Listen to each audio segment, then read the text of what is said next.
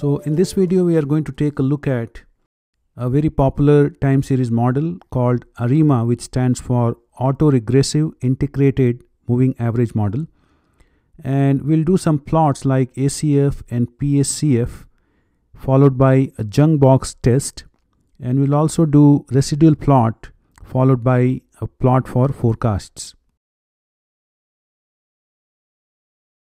So for developing this time series model we are going to make use of a package called forecast. Now to find the best uh, ARIMA model, I'm going to use a function which is auto.arima. So basically what it does is it will give us the best ARIMA model based on either AIC or BIC value. So we specify that our data is AP. Remember that this is log transformed. And let's store this uh, time series model in model. Once the model is ready, you can even run this modl to see what kind of model we have.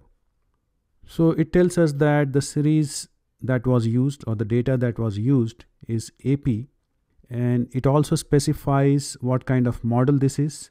So it says 0, 1, 1 where this 0, 1, 1 stand for P, D and Q where first one P is the AR order and second one which is uh, D is the degree of differencing and the third one which is 1 it is indicated by Q. So this is the MA order or moving average order.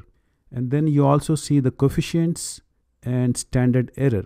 And we also have some other values calculated for us like AIC, AICC and BIC which help us in choosing the best time series model. You can also look at the attributes of this model. So you can see there are uh, several attributes we can isolate like coefficients, sigma 2 and so on. So for example, let's do model dollar sign coefficient and it will give us the coefficient. So remember this is the same value that we have obtained earlier. It is always good to look at ACF and PACF plots for the time series data. So let's uh, do that using ACF. From model we can get the residuals. So residuals is the difference between fitted values and actual values. And let's also give a title. So this is basically going to be correlogram. So this is what we get we have various lags on the x-axis and ACF values on the y-axis. You can also see there are these uh, two dotted lines which are significance bounds. Basically this graph shows us that the autocorrelations for in-sample forecast errors do not exceed these uh, significance bounds for lags 1 to till the end in fact. The first one is at 0. Let's also look at uh, partial ACF by using PACF and we can give a title as partial correlogram and in fact uh, in this case all of them are within the significance bounds so for all lags we have values within significance bounds between these dotted lines now if you look at the previous one just as an example, so there is one line here, you can see it almost touches the lower significance bound. Most of the values are quite small, but there could be few which may create a suspicion whether it is really significant or not. So to test that, we can make use of Ljung-Box test where we use model and residuals. And let's use lag of 20 so that's more than enough. So this is up to 20 and for type we can specify Ljung-Box. So it quickly runs this test here and gives us a summary. It calculates uh, x squared values degrees of freedom but we are mostly interested in the p value and if p is less than let's say 0.05 then only we can say that there is a statistical significance. But uh, since this value is quite high, so if we are considering 95% confidence level, so this is quite high. So obviously uh, we can conclude that there is little evidence of non-zero autocorrelations in the in-sample forecast errors at lags 1 to 20. So obviously this is just a random chance that this is so close to the line. In reality, there is little evidence of non-zero autocorrelations.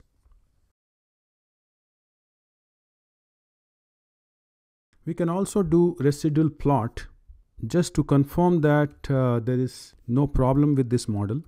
So we plot the residuals. Let's color this as red and let's give X label as error and let's give the title of this chart histogram of residuals. We can also indicate that we don't want to plot frequency but the density.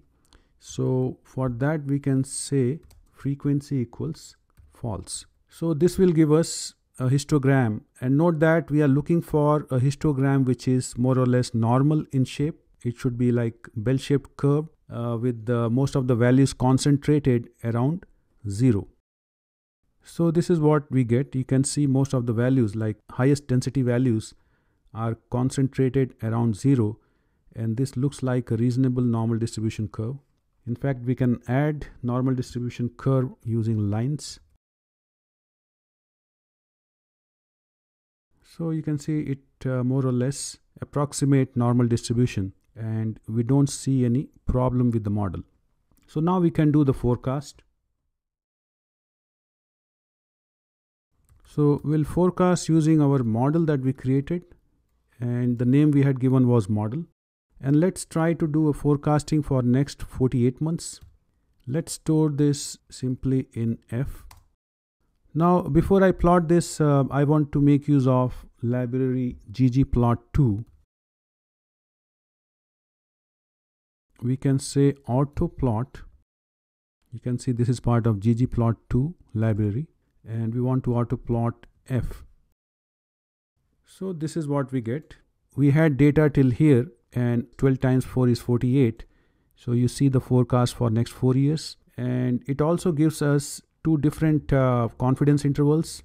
The dark one is 80% confidence interval and the light shaded part is 95% confidence interval. So this is wider than 80%. We can also do standard accuracy calculations very easily by saying accuracy of this forecasted model F. So it calculates the standard uh, accuracy measures that are used in time series like ME, mean error, RMSE, root mean square error, MAE, MPE, MAPE, MASE and ACF1. In the next video, we are going to take a look at time series clustering with R.